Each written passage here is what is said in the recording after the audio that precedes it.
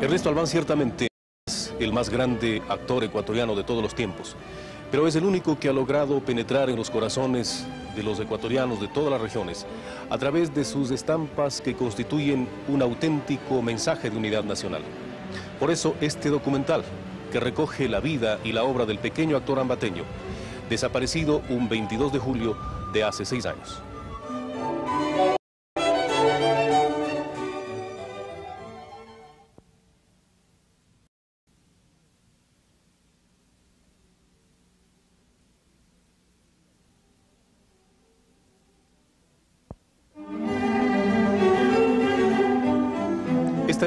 Semblanza de don Ernesto Albán o don Evaristo, comentada y testimoniada por sus descendientes, por sus ex compañeros y por sus espectadores. Pocos ecuatorianos han podido levantar detrás de sí una oleada de afecto tan grande el día de su viaje supremo como el pequeño actor ambateño. Un callejón humano compuesto por gentes de toda condición agitaba pañuelos blancos y lanzaba flores cuando el féretro salió del Teatro Sucre para dirigirse a la catedral y después al cementerio Parques del Recuerdo. El Omoto Albán, enfundado en su molido y replanchado pantalón a rayas, su levita negra y el clásico sombrerito de coco, se había metido en la vida de los ecuatorianos durante 50 años, para cantarles a las trivialidades de la vida con esa fina sátira que pintaba un desdibujo hilarante de la realidad ecuatoriana. Allá por los años 20, la municipalidad de Ambato decidió rescatar las incipientes dotes musicales del pequeño huérfano que estudiaba en el Colegio Bolívar y le concedió una beca para continuar sus estudios en el Conservatorio Nacional de Música de Quito. Ernesto se instaló entonces en la capital, en donde trocó sus apacibles días ambateños por las corcheas y las sesiones largas de solfeo hasta que se graduó de oboísta. Sus conocimientos de canto y declamación le vincularon enseguida con las compañías de teatro de la época, hasta que obtuvo un pequeño papel para trabajar en una comedia.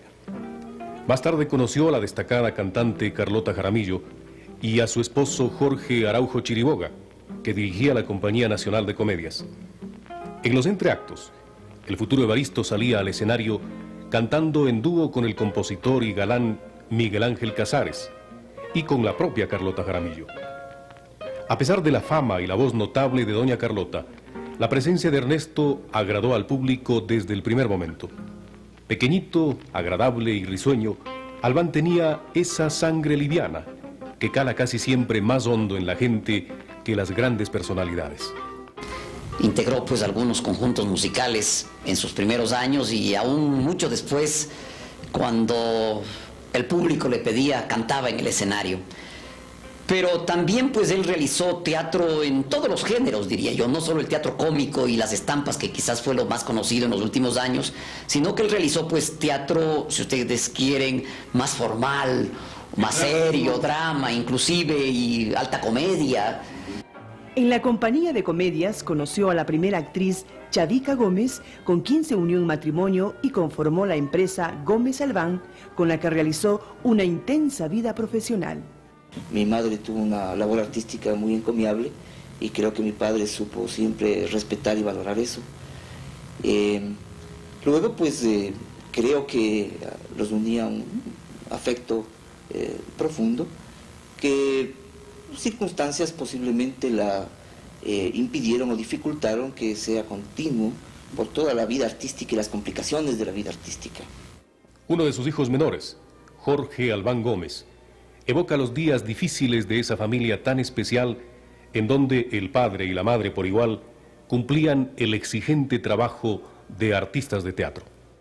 No fuimos una familia convencional y eso eh, eh, tiene aspectos un poco negativos, si se quiere, pero tiene muchísimos aspectos muy positivos. Eran días, semanas y hasta meses que los Albán Gómez debían estar ausentes de su hogar a causa de las largas giras que realizaban por las diferentes provincias del país y por Colombia.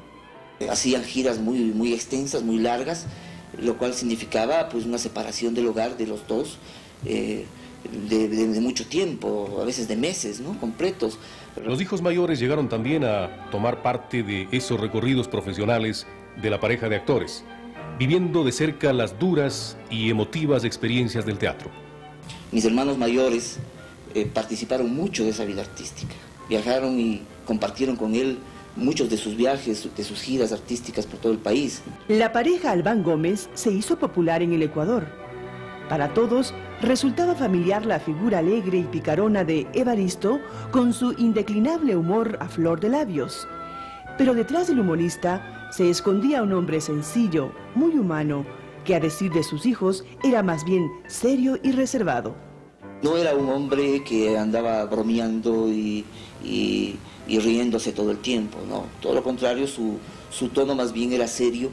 Eh, incluso, como él mismo lo decía, era tímido. A pesar del tiempo transcurrido, sus hijos no han podido olvidar la educación y los sólidos principios que el actor les inculcó.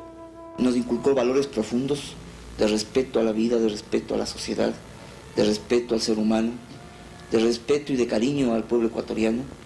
Ernesto Albán incursionó en varios géneros del teatro y llegó a representar alrededor de 300 piezas que las exhibió a lo largo y ancho del país.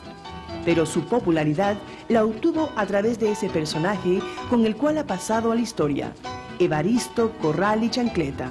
Evaristo y Albán llegaron a ser prácticamente lo mismo para el público. Pero Albán no fue el inventor de su personaje. Evaristo nació cuando Alfonso García Muñoz pintaba semana a semana, con su pluma de escritor y periodista, la vida de ese Quito pintoresco y romántico de los años 30, en donde el chuyaquiteño ocupaba la escena central. García Muñoz era un empleado público enterado de todos los chismes políticos que desde su escritorio observaba los movimientos de policías, compadres, políticos, gringos, cocineras y toda esa fauna humana a la que le daba forma y movimiento en sus estampas de mi ciudad. García, el empleado que guiaba a los chagras despistados para realizar un trámite y que asesoraba sobre toda suerte de gestiones burocráticas sin embargo, no pasaba de ser un pobre empleado público, limitado por su sueldo y atrapado por su rutina. De esas experiencias nació el casi autobiográfico Evaristo. El Chuya Evaristo nació así como el simpático desempleado, que vive de milagro en un diario enfrentamiento con la vida, con duras limitaciones económicas, pero siempre con su gracia y malicia a flor de piel. A ver, muchos Mr. Indios en Ecuador. Eso no hay ni cómo negarlo, oiga, toditicos somos indios. Sí, oh. unos más blanquitos, otros más negritos, pero indios. Pero sepa, mister, que hay muchos indios que merecen ser señores. Ya. Y hay muchos señores y señorones que no merecen ni ser indios. Oh, ya, ya. Junto a Evaristo surgió la Jesusa, típica mujer de la clase media, en esfuerzo constante por disfrazar su hambre y su pobreza y en permanente crítica a los vecinos y a su propio marido. ¿Evaristo? ¿Qué quieres, mujer? ¿Qué quieres? Estoy eh, metido en la cocina toditico el día, me llamas. Estoy friendo las papas, mujer. Es que necesitamos arreglar el asunto de la Maslene, pues, hijo. Pero es que acabo de poner los huevos en la sartén, pues. Más que Jesús pasó a ocupar importancia determinante en las estampas quiteñas, el zarzosa, que cumple diversos papeles, que siempre aparece como la contraparte y que a través de su ingenuidad y simplonería permite el lucimiento de Evaristo. What's your name, mister? Okay. What's your name, mister? Okay. What's your name, mister? Okay. A mí no me grite. A mí no me grite. A mí no me va a tratar mal. No, no, a mí no me va a tratar. A mí la única persona que me grita, me trata mal y hasta me pega es mi mujer, señor. Más de siete años que estamos fumando la hierba de la dictadura y ya está que se nos comen las brujas. El pueblo ecuatoriano no tiene para jamar. Jamar. Jamar. ¿Y eso qué es? Comer y el que no jama bien no ruqueas tranquilo, por mi pana. Te pregunto que por qué te traen. Y yo te pregunto, ¿por qué me tuteas, Porque yo soy el comisario. Así que porque eres el comisario me vas a faltar el respeto. Te equivocas, te equivocas. O me tratas con respeto o vas preso vos también. Naranjas, bananos, duraznos, guaitambos. No coma fruta podrida. ¡A los buenos churros españoles! No coma porquería española. Bananos de la provincia del Oro. El buen banano. Oiga usted, ¿Qué pasa? ¿usted por qué se mete con la mercadería española? ¿Y usted por qué se mete con la mercadería ecuatoriana? Porque lo mejor del mundo está en España. ¿Y qué es lo mejor del mundo? Vamos a ver. Mire usted, le voy a nombrar una pequeñez Sí, señor. para que vea que lo mejor del mundo está en España. ¿Y qué es lo mejor del mundo? Vamos a ver. Nosotros en España tenemos serpientes. serpientes. Vean nosotros aquí en el Ecuador por todo lado serpientes así, de toda clase de serpientes. Boa, X, boba, como usted, como usted sabe, como usted sabe. Y en Quito, en los, en los ministerios públicos así, si estos empleados como serpientes arrastrándose para quedarse en el puesto. De todo tenemos en el Ecuador, de todo, señor. Ve, creerás que por llamarme Baristo Corral y Chancleta soy un cualquiera. Mis familias descienden de la nobleza de Cuenca y de la nobleza de Riobamba. Yo soy, yo pertenezco a la cholocracia. Yo tengo sangre azul hasta en el estilógrafo que escribo mis cartas. ¿Y cuál es el rey de las caídas? El guillo, pues ¿quién va a ser el guillo? Pero ya se cayó. Ya se cayó, pues le dejaron en 38 que no juega. ¿Cómo, cómo es eso de 38 que no juega? Claro, le ganaron la presidencia con Ronda de Haces. Ronda de. Sí, haz de la aviación, haz de la marina y haz lo que te dé la gana. Sí. Dígame, ¿de qué proviene la crisis? Proviene, por ejemplo, Sí. de que vos me quitas el sombrero so pretexto de que me luzca más el pelo. Luego me quitas los zapatos para que no me duelan los callos. Sí. Después me despojas del saco, la camisa y el chaleco para oxigenarme el espinazo. Y por último me quitas la ropa interior para que camine fresco. No sea pornográfico, don Evaristo. Es pornográfico el cara de axila este, Dios mío. Pornográfico. Ah, por. Una vez que estás desnudo quiere decir que estás en crisis. En cueros querrá decir. Lo mismo da la crisis económica quiere decir que el Ecuador está en cueros ahora. Me quiero irse con usted, Evarista. Es un ser mucho simpático. Vea, gringa, no me moleste, pero vamos si quiere, vamos. Eh, así, si falta comida, hacemos hot dog de gringo y así no hot dog el gringo. Ya, a ver, a ver, a ver, vení. a ver. Mm. ¿Ves la chola bandida lo que ha comido tamales de gallina y no me ha traído? Verá, don Evaristo. Sí. Quería hablar con usted porque estoy estudiando periodismo, ¿no? Número muy bonito. Y sé que se ha hecho elegir diputado por ni sé qué sindicato, algo así. Sí. Vengo a hacerle una entrevista, don Evaristo. Diputado suplente soy para que Ah, sepas. diputado Sí, suplente. sí. Además, usted sabe, para que dé buscando una peguita, No, pues, don Evaristo. Yo a vos te A quiero. Yo te quiero como si fueras mi hijo putativo, para que sepas. Sin arroz hay seco. Aquí los secos somos nosotros. Y me escupes, desgraciado, así. Como si yo fuera el ministro, me escupes aquí.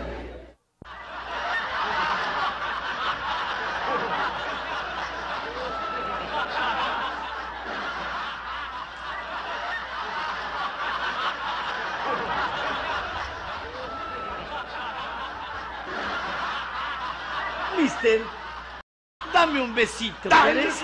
Ay, no seas malo, malo, malo. Yo pido que se le excite al honorable y se le deje excitado.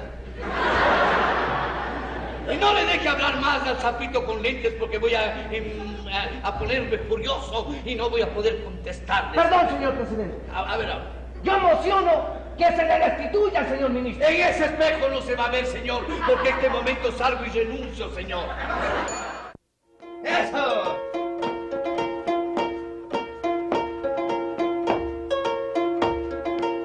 ¿Le gustó este pasito? Lindo, ¿dónde aprendió? ¡Eh! Marcel Rivas me enseñó bonito. ¡Ay! Ahora, comadrito. ¡Eso! Y al decirte adiós, mi amor querido, y al decirte adiós, mi amor querido, ay, me senté a llorar, y entristecido, ay, me senté a llorar, y entristecido.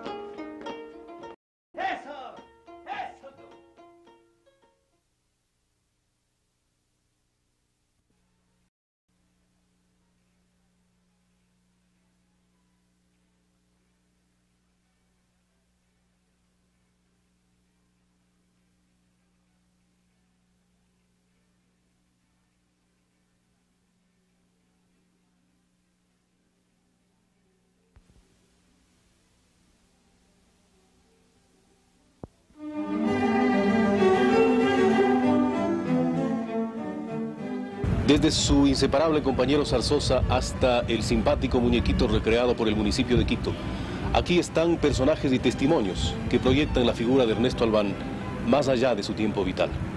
Albán llegó a representar toda una época del teatro ecuatoriano. Su llegada a los escenarios no es forzada ni difícil. Ocurre más bien en el mejor momento del teatro nacional, cuando auténticas figuras acaparaban la atención de los públicos de Quito y Guayaquil. En la capital y en el puerto habían florecido numerosas compañías de comediantes que conseguían llenar los teatros con sus presentaciones semanales. El teatro de los años 20 parece haber despegado de una sólida plataforma constituida por la costumbre extendida en pueblos y ciudades para organizar veladas musicales y veladas de gala. Esas veladas se gestaron a su vez en las reuniones familiares en donde se recitaban coplas y se improvisaban comedias y sainetes. Siendo aún muy joven, Albán llegó al ambiente artístico en el cual fue bien recibido y allí se quedó por más de 50 años. A lo largo de 50 años aproximadamente, quizás un poco más de 50 años, papá llevó el teatro a todos los confines del país, de un extremo a otro. No solo a las ciudades importantes y a las capitales de provincia, sino a las parroquias. El mayor de sus hijos, que lleva su mismo nombre y que ha sido uno de sus más cercanos seguidores y admiradores, advierte que la actividad de Baristo estuvo dirigida a todo el país. Yo creo que en todo el país el mensaje fue igualmente recibido. No digamos en Quito, que siempre pues se identificó tan profundamente con su obra, que hoy día, al cabo de los años, fíjense ustedes, es Evaristo el personaje que ha llegado a simbolizar a la ciudad de una manera más propia y más auténtica. Muchos ecuatorianos lo vieron en pueblos y ciudades de la costa y la sierra. Uno de ellos es el alcalde de Quito, Rodrigo Paz. De niño yo iba al Teatro Apolo en Guayaquil a verle interpretando estampas quiteñas de Guayaquil y con la alegría más grande del pueblo guayaquileño. Los que lo conocieron y lo vieron actuar están de acuerdo que sus atributos escénicos le convirtieron a Albán no solo en popular comediante, sino también en un mensajero del principio de unidad nacional. Creo yo que el caso de papá demuestra que por sobre el regionalismo había una capacidad realmente formidable de compenetrar las, a las gentes de la sierra con las gentes de la costa. El teatro de Ernesto Albán es un auténtico anecdotario de la vida nacional. Diversos tipos humanos han desfilado por sus estampas, tocando costumbres y acontecimientos que han quedado grabados en esa singular historia escrita con su peculiar estilo humorístico. Su popularidad y su importancia radican en la forma como entendió esas situaciones y en la apasionada entrega para interpretarlas. Pero su trabajo es también resultado del ingenio de sus libretistas que supieron acomodarse a su forma de pensar y actuar. Entre los libretistas más importantes se encuentran el escritor Pedro Jorge Vera, el desaparecido periodista Gonzalo Bonilla y el escritor Enrique Wilford, también fallecido. Uno de los principales colaboradores de papá fue un escritor, curiosamente, colombiano, Enrique Wilford. Tal vez fue el colaborador con el cual más tiempo estuvo compenetrada la obra de papá. Pero Albán no era un simple recitador de guiones. Se entregaba al personaje y trataba de hacer y decir lo que éste le inspiraba. Muchas veces salía del libreto y sorprendía al propio Zarzosa que estaba a su lado y que veía que esas frases no estaban previstas antes y que no sabía exactamente cómo seguir adelante en la estampa. Las estampas de Ernesto Albán empezaron tocando temas costumbristas, pero abarcaron toda una gama de materias. Hasta que vino el presidente de la OPEP donde el general y le dijo, Vadrecito general, ¿por qué no te lanzas uno de esos discursos que vos sabes? ¿Por qué no les dices a estos hijos del desierto que el petróleo no se ha hecho para pelearse, sino para bajarles el pico a los imperialistas? Y como vos no eres de Argel, sino de esa linda tierra de Fujilí, a vos te han de hacer caso. Y no descuidaron desde luego los temas sociales, de las diferentes épocas. Yo voy a poner bocas en todos los barrios para que te reciban en una casa decente, que te paguen el sueldo básico, bonita, 1500 sucres. Vos con tus aptitudes para el servicio, para toda clase de servicio, por lo menos unos 2000 sucres debes ganar. Su mayor éxito lo consiguió a través de la estampa política que ha caricaturizado a muchos políticos como cierto exintendente guayaquileño. Ah, y si los camioneros y los marihuaneros se ponen groseros y atrevidos conmigo, todos se me van a la modelo. ¿Qué se han creído? Ah, Faltaba más. Conmigo se van a ver. Y un día, pues, el intendente va a la, a la, a la platea y ocupa el, el primer puesto. Y sin embargo, pues, papá, igual que todos los días, llevó adelante la estampa, pues quizás con un mayor estímulo para, para, su, para su representación. Las estampas de los últimos años fueron de corte eminentemente político. Evaristo sintió e interpretó de tal manera nuestros acontecimientos y costumbres políticas que él mismo terminó convirtiéndose en diputado. La diputación del año 70, precisamente, fue una singular aventura de, de la, en la vida de papá. Evaristo y Zarzosa fueron inseparables en las estampas. El simpático Zarzosa, con su cara de ingenuote, resulta un complemento indispensable de Evaristo. Al actor que interpreta el personaje todos lo conocen con dicho nombre, aunque él fue bautizado como Oscar Guerra. Tiene cerca de 50 años en las tablas y ha trabajado casi 30 con Ernesto Albán. ¿Cuál es la diferencia entre Oscar Guerra y Zarzosa? Pues es muy poca la diferencia realmente porque en la calle muchas veces y en todo el país no me conocen como Oscar Guerra, me conocen como Zarzosa. A Ernesto Albán le tocó desde luego el mejor papel. Evaristo es el chullita quiteño, el vivo de la película. Zarzosa es todo lo contrario. ¿Le gusta a usted, Oscar, interpretar ese papel de gringo mudo o de soncito? Pues sí, porque en la escena, en el teatro, siempre hubieron los cómicos y siempre su, tuvieron sus parteneros. Bueno, para tener que comer, porque si no la situación se, se viene un poco de crisis, ¿no? Oscar Guerra comenta ahora las estampas quiteñas que se difunden los viernes por Gama Visión. Pero él sabe que el Zarzosa forma ya parte del pasado y cree por eso que es hora de buscar otro personaje. En este momento habrá que cambiar porque yo necesito seguir trabajando. Y lógicamente, pues, de acuerdo a los libretos que se presenten y a los personajes que me entregarían para poder interpretar, pues, habrá que hacerlo. Guerra o Zarzosa. Añora con nostalgia los largos recorridos que realizaba con su carnal Evaristo, presentando las estampas quiteñas. Subraya que Ernesto Albán, o Don Eva, fue la primera figura del teatro cómico ecuatoriano de los últimos 35 años. Y tiene una evocación muy suya para Evaristo en este aniversario de su partida. Pues le tengo que decir, don Evaristo, acuérdese que nosotros todavía nos quedamos en la tierra. Todos en el Ecuador de los 90 conocen a Evaristo, inclusive los niños que no habían nacido aún cuando él murió hace seis años. Los más viejos le actuar directamente en el teatro. Otros han visto sus películas y sus videos. Y los niños pequeños hasta le han convertido en una especie de compañero de juego. Edgar Ceballos y Manuel Romero hicieron el milagro de prolongar la vida de don Evaristo a través de ese singular muñequito que por medio de la magia de la televisión y el dibujo animado penetró desde hace un año en los hogares ecuatorianos.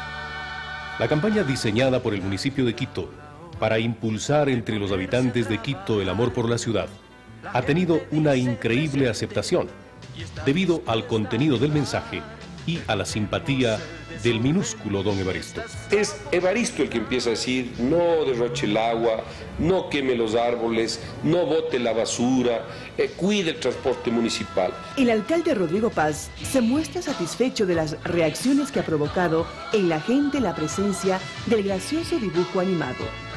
Nos cuenta, por ejemplo, lo que le ocurrió un día en la calle. Alguien sale y dice, oiga, mi chullo alcalde, venga, tómese una cervecita.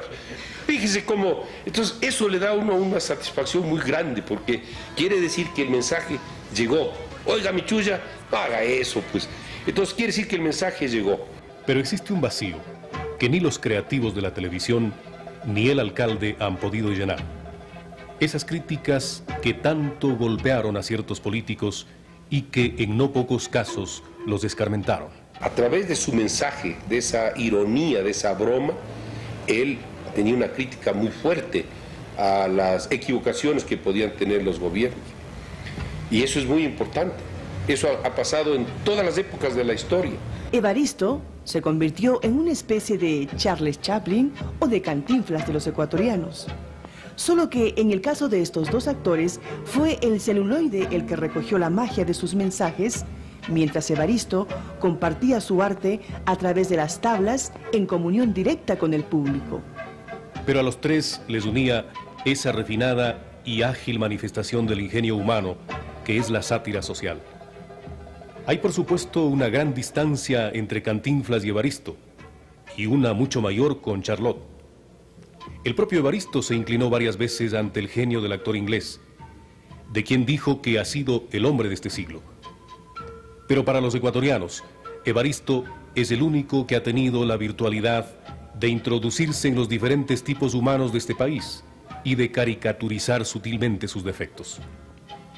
Las estampas cómicas de Evaristo fueron inicialmente quiteñas, al haber sido extraídas de las costumbres capitalinas de los años 30, pero terminaron siendo nacionales porque retratan de diversas formas la picardía, la ingenuidad y la idiosincrasia del hombre ecuatoriano. Por eso, en todos los rincones de la nación se sigue evocando su figura. Esta figura difícilmente puede pasar ignorada, más que por lo graciosa por lo humana. Hola, mis chullas. Yo soy Don Evaristo Coral y che.